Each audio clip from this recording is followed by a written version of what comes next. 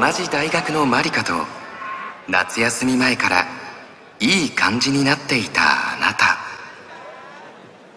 夏休みに入ってからも毎日のように連絡を取っていたあなたはこの日もマリカに電話してみることに。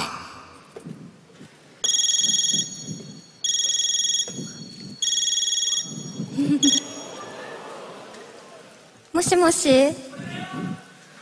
元気。あ今ねさゆりと姫香と温泉旅行来てるの。うん。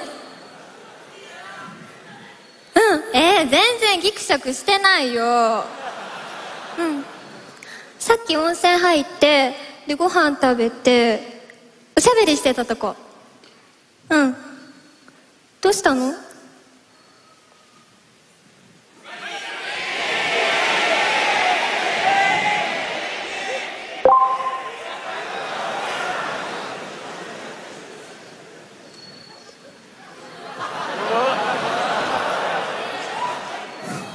何それ？気持ち悪。い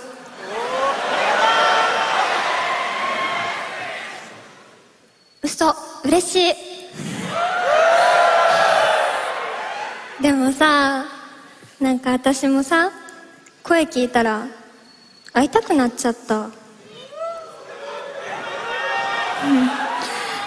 なんかね久しぶりの旅行ですごい気分が上がってるのかなんか星空が綺麗でなんかそういう気分になってるのかよくわかんないんだけど一つ言っていい？あのね愛してる。